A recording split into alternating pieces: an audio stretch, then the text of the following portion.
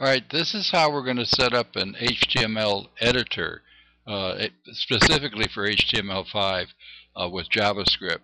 And I'm going to start with a blank folder here as I have here. And I'm going to go ahead and right click on that and I'm going to come down here to new and I'm going to come here to text document and click on that.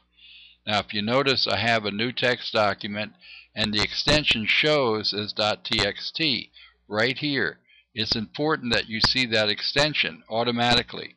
If you don't see that extension, you're going to come out, have to come up in your tools panel or equivalently and make some changes. And like for example, folder options, and you come here to view, and then you see where it says um, uh, hide extensions for known file types. If that's checked, make sure you uncheck it. Okay and then just go ahead and put OK. That's what I'm doing down here. And you'll be able to see that extension. Now that I can see that extension, I'm going to right click on it and I'm going to rename it and I'm just going to rename the extension for now. And I'm going to come over here and get rid of the .txt, uh, the txt part and leave .html and then press the enter key. And I'll get a warning message. Says if you change a file uh, extension, this may become unstable, but I'll put yes. Now as soon as I do that, what happens is that the icon changes and it changes to my default browser, which just happens to be Google Chrome.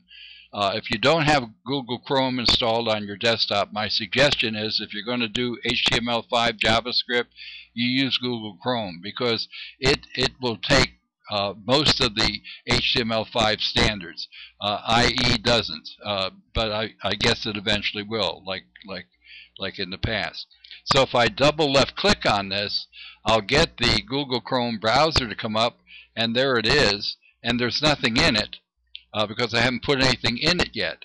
But in order to put something in it, what I do is I come back over here to the browser icon, I right click on it, and I put open with and I come here put open with notepad. Okay so there is notepad now. So I have notepad on one side and I have the browser on the other. So notepad becomes my editor. I'm going to type something in there like hello world H-E-L-L-O uh, W-O-R-L-D and then what I have to do is I'm going to come here to file and then save it first then come over here and refresh it and there you see now on the browser, you see Hello World. Just to show that this really does work, I'll come back over here to Notepad and I'll put in an HTML tag like say H1.